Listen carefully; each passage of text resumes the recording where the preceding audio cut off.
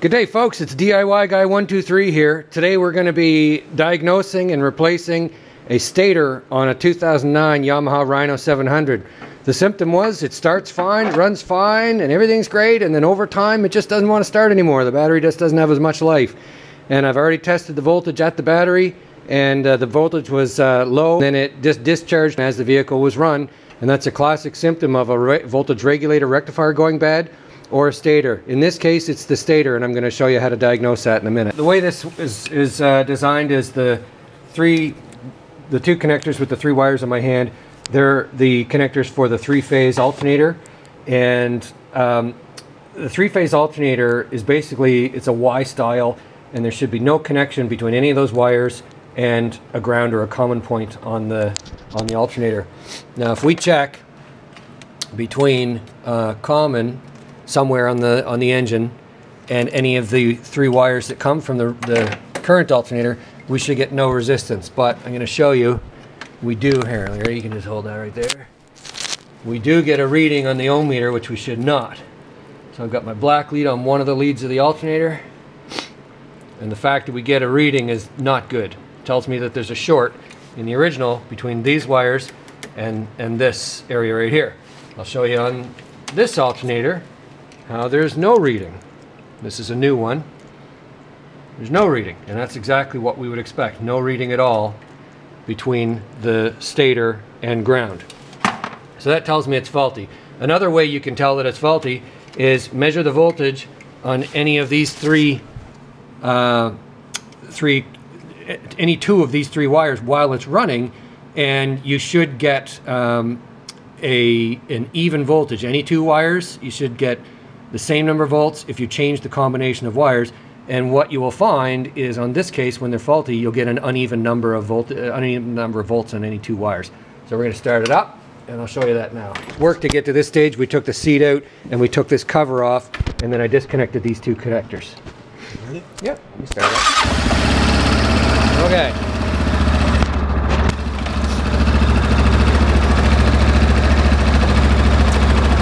So, got my meter set to AC volts.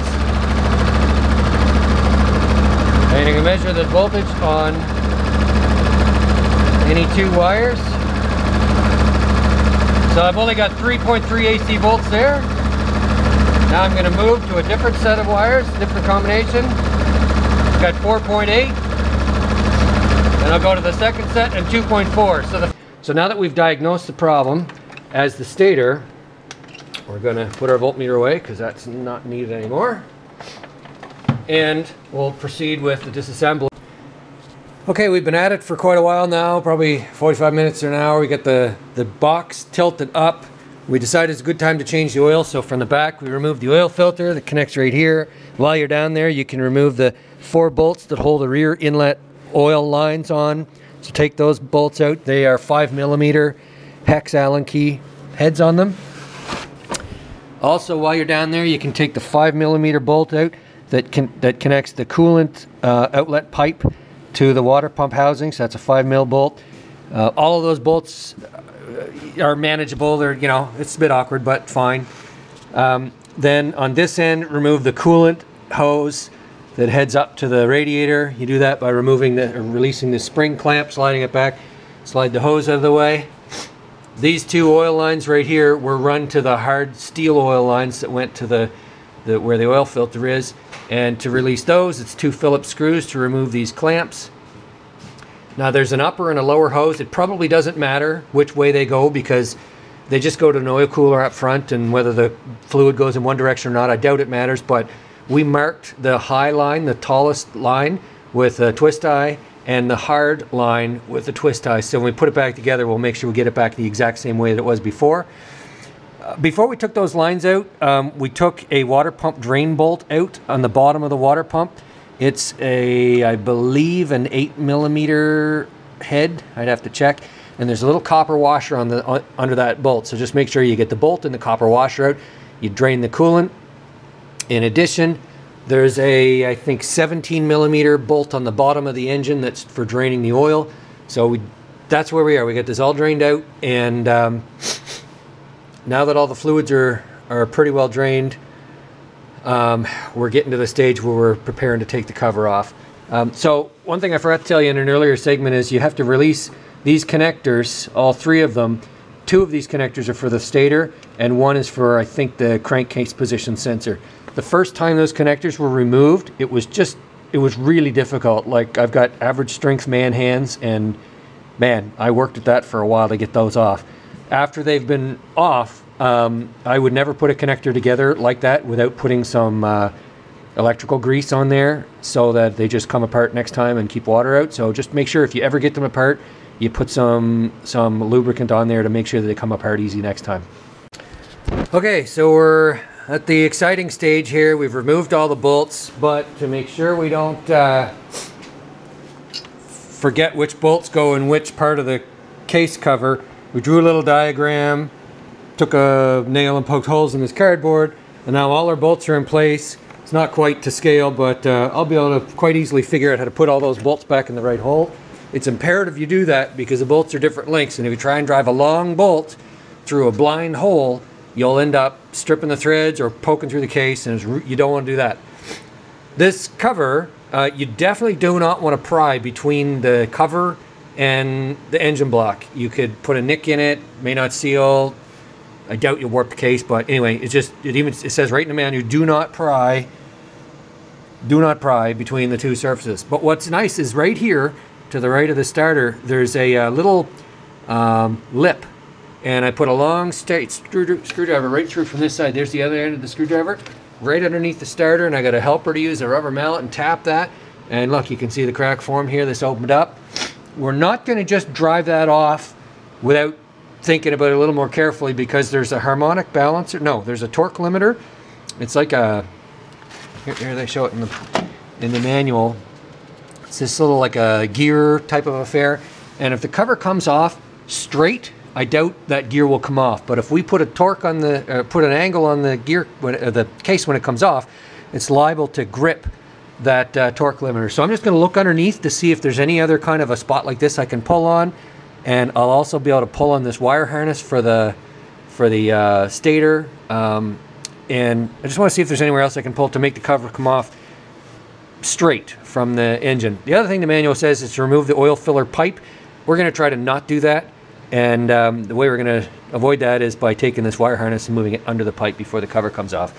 It is a magnetic uh, rotor that grips on the stator through magnetic force so even if this is completely freed up it's going to feel like it's seized on there. And uh, if you pull it off a little bit and let go, it's probably going to snap back. So actually I pried from the bottom and tapped from the top. So a little different technique there. And the cover came free. And what I could see was this gear moving forward. It was migrating forward. And this as well, this whole craziness of stuff here. This is a starter reduction something or other, I don't know. Anyway, this was moving forward with the case and this is moving forward. So as soon as I could get the case far enough out that I could get a screwdriver in here, I used it to push this gear back and push this thing back because I'd rather have all this crap stay on the engine rather than come off in the case. So this I was able to get to go back in, but th this gear rides on this shaft and the shaft came out and stuck in the case. Well, as it was as I was pulling the case away, I held my hand on this gear so the gear wouldn't fall. And once the case was moved away, I pulled the shaft, this shaft right here, out of the case, put it through the gear, and kind of manipulated things so I could get the, the shaft to go back into the engine block. And, uh, and in that way, everything is contained there. So just be very careful when you take this off. I did not want to have all of this gears, everything crap fall down and have to figure out that puzzle. Now, uh, one thing I would recommend is before you do this job, clean everything really well. I did not do that here. I actually, it's just ironic. I don't have compressed air available right now. So before we did any of this job, if I could go back in time, I would have washed all this very clean and then it just would have been a much better experience. There's some dirt that fell down in there. I'm going to take some time now with toilet paper and clean that really well. All this is going to be just speck and span clean before it goes back together. There was a couple. There were a couple of dowels that came off uh, with the crankcase. They are just loose. They'll come out if you're not careful. So just make sure you don't lose those. And that's the first thing you should check when you take the cover off is make sure you found the dowels because if they're not in the engine block and they're not in the case, then they're on the floor or in my drain bucket down below. So you got to locate those. Now you may very quickly observe that the uh, stator is cooked and there was a catastrophic failure here. What I predict happened was the, the somewhere the stator coils shorted and then the whole time the engine had been running after that event, this area right here was basically a dead short, trying to generate a voltage over a dead short. There could have been very high current in this area, and that's what caused the cook. Next steps are to clean the gasket surfaces off of the case, uh, the case, the cover. We're going to take these bolts out and change the stator. Um, there's some process around it because there's a crank position sensor that came with the new stator, and so this these bolts also have to come out. You're going to take this rubber sealing grommet here. That has to come out. I think there's a bit of sealant that needs to go behind that, so we'll take care of that. And then we'll, uh, we'll come back to you and talk about reassembly.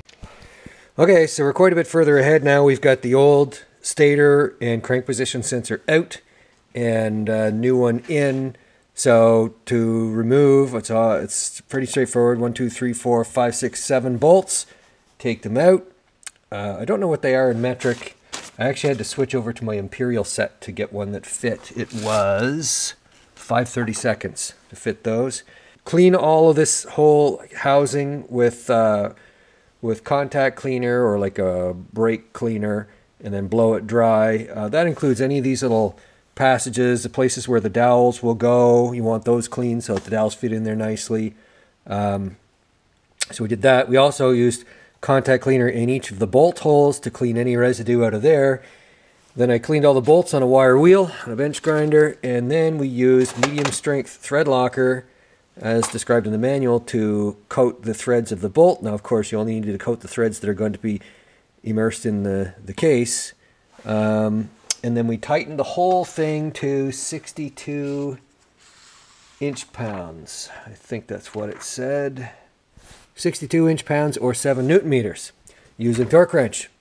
Um, so we've done that. Oh, and we also put some silicone sealant behind the grommets. And just before we put it on the, the uh, engine, we're going to just smear a tiny amount right there as well.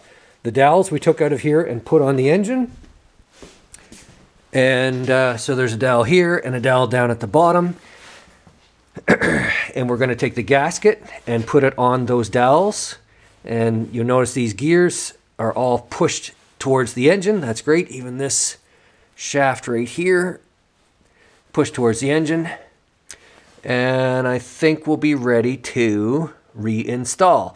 You don't need to have bolts, case bolts in your hands when you're trying to reinstall because it will self-center on these dowels. Um, and the magnetic force of the rotor is probably going to suck the cover in anyway. So basically you're going to do your best to get it as aligned as you can and then it will get it will get drawn in. Make sure there isn't any leftover gasket. We've had quite a time scraping all the gasket surfaces on both the cover and the block. So the only trick to it in the manual is uh, there's a, a shaft that comes out of the oil pump right there and it fits into the water pump impeller. And as you're putting the cover on, it helps to rotate the water pump um, from the outside of the cover ever so slightly um, you may get lucky and it just goes on, but it probably helps to look at the orientation of that oil pump. It's like this. So we're going to take the water pump impeller and make its shaft aligned. And then when we put the cover on, we may just have to micro adjust the pump impeller. Yep, so there's the water pump impeller. So I can adjust this a little bit and um, it'll be easy where the water pump housing is off to adjust the actual, uh, I'll show you, to grip that by the impeller and just rotate it so that this aligns with the oil pump shaft. If you don't do that, uh, the cover won't fit on properly. It'll be out near the bottom and you know there'll be something interfering and you'll be unsure. Just try, don't force anything, just try to uh, rotate the water pump impeller and it should snap in place. Okay folks, so we're looking pretty good now. We got the uh, alternator cover on the engine. We rotate, we uh, torqued up all the bolts in a crisscross pattern, 88 inch pounds. We, uh, when we did that, we had to just wiggle the water pump just ever so slightly to engage with the oil pump shaft, and then it all pulled in. Now, I will tell you, the manual says don't tighten the bolts down if the cover doesn't fit flush with the case. But in our case, the grommet, where those, those wires came through, that rubber grommet, was protruding so far from this case that the case would actually teeter-totter on that grommet. And the old one was like that when we pulled it out. It protruded from the case a little bit. So I just took my hand and pushed it, and I was able to compress that rubber grommet almost as much by hand as it needed to be compressed to be flush. So I knew that would be okay if we tighten the bolts down. So anyway, um, just make sure that if, if you're pushing at the top, it goes in all the way at the bottom, and at the bottom it goes in all the way. That tells you that all your gears and dowels are aligned. And if it teeter-totters in the middle, it's that rubber grommet. Okay, then we put the water pump cover back on, tighten those three bolts up to 88 inch pounds, return this hose to its proper location with a clamp. Um, we in the bottom of the water pump housing can't really see right now, but there's a there's this big cooler line that that's rubber that goes into a steel line that heads into the bottom of the water pump housing. We took the O-ring out of the housing and put it on the steel tube that's going to go into the housing, and then tighten that bolt up 88 inch pounds. Then we put the four uh, no no the two oil uh, oil cooler lines that go to the back of the engine with one two three four bolts that hold that in all 88 inch pounds and snapped those lines into this bracket and then reconnected the hoses. So that's got you all caught up. I did I did connect the uh, electrical connector for the crank pickup and that will allow us to start the engine. And we're going to start it and I'll measure the AC voltage on these three wires and hopefully we'll see the uh, target idle voltage which would be an equal voltage but much higher than the 3-4 volts we saw before. Now I would not want to run it very long with that disconnected because while you're doing that, the alternator is driving is creating a high, high voltage um, because there's no current draw off the alternator. And I wouldn't think it's fine for a quick test, but I wouldn't want to drive it like that. Oh, we put the oil drain plug back in. And I also put the water pump drain bolt, water pump cover drain bolt back in. I did that when it was on the bench. Okay, so since the last update, what we did was we filled the radiator with coolant right to the top. Takes a while for the air to bubble out of it. We filled the expansion tank to the halfway mark, which is actually where it says full. So halfway up this tank is actually full. To do that, it was a bit tricky. We take the cap off and we put a, a short funnel in there and then we put a long funnel up top here. Uh, we just made it out of cardboard and the cardboard funnel dropped fluid into the big plastic funnel that was down there. And that's how we filled it up. It helps to have two people and somebody watching this with a flashlight behind it. So after we get those topped up, we pulled off the water pump housing bleed screw, bleed bolt.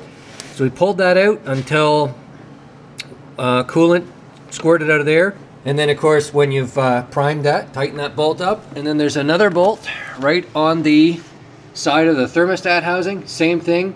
You can loosen it and um, no fluid actually came out here because the front end was a little too low in this garage that might not be level. So the manual says to jack up the front end until fluid comes out here. So we did that.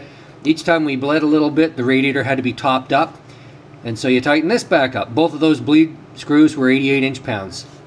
And then um, we had filled it up with oil and the dipstick for, uh, I think it, we put two liters in. We're going to check it after the machine's run for a while and warmed up and, and so on. But uh, two liters took care of it. And it's a fascinating thing. I've never seen this before. They actually want you to bleed the pressurized oil system when you change the oil. And so to do that, there's this bolt right here that you loosen. Don't take it out, but you just loosen it two, two turns or so. Start the engine, and when you see oil squirt out around the threads, stop it, tighten it. 88 inch pounds. So let's start it up.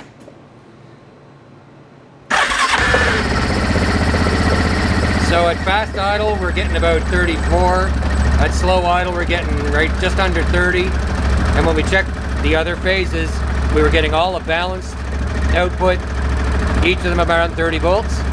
Now, uh, some um, some types of systems, when you run them, when you go to diagnose them, you have to rev them up to see. Now I'm going to show you, uh, but this one we're just going to test it idle. So here we're going to throw this on DC volts, and this battery is currently running at 12 volts right on. And is the key on? Turn the key on, but don't start it. Yeah, so we're 11.75 volts with the key on not starting. So now I'm going to connect our new stator windings. And we'll redo that test. And I'm expecting 14 and a half volts or so. Okay so that was just these fittings being connected right here. Now we'll start it up do our final measurement. Yep go ahead and start it